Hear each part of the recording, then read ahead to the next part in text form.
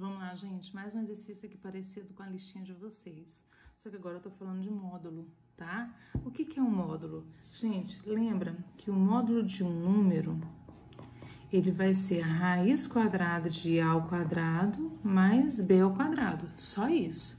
E quem é o A ao quadrado, o, esse A e esse B? O A vai ser sempre a minha parte real e o B é a minha parte imaginária, tá bom?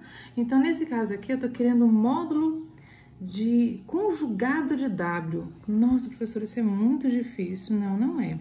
Olha aqui, ó. O conjugado do meu W, ele é 1 menos 4i. Esse aqui é meu A, esse aqui é meu B, tá bom? Então, a gente vai colocar ele aqui, ó. A ao quadrado, B ao quadrado. O meu módulo de W vai ser quem? Esse meu A vai ser o 1. Então, 1 ao quadrado mais esse meu B vai ser o menos 4, lembrando que o sinal vai junto. Aí você pensa, mas o que, que adianta o sinal ir junto se a minha potência é par? Então, meu número vai ficar positivo. Então, você não tem que se preocupar se ele é conjugado ou não, tá? Isso é importante porque nos próximos cálculos de trigonometria, esse sinalzinho vai fazer muita diferença, tá? Porque ele muda o quadrante do seu ângulo.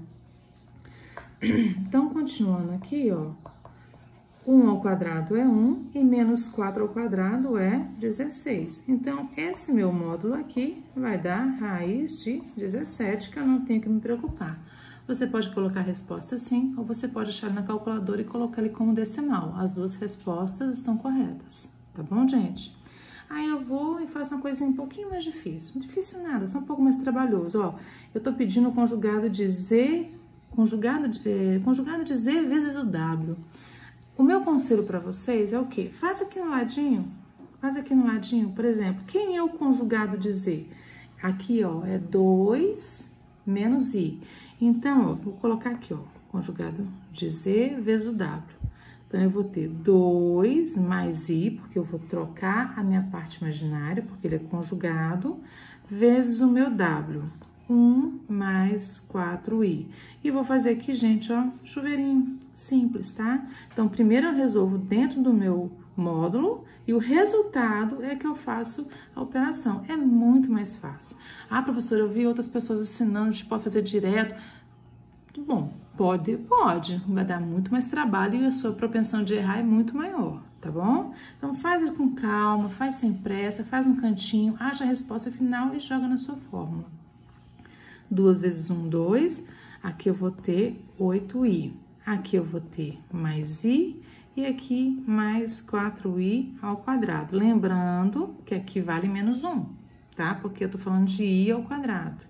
Então, eu tenho 2, juntando essa parte aqui, ó, eu tenho 9i menos 4.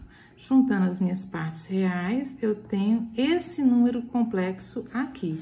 E é ele é o que eu vou fazer o meu módulo.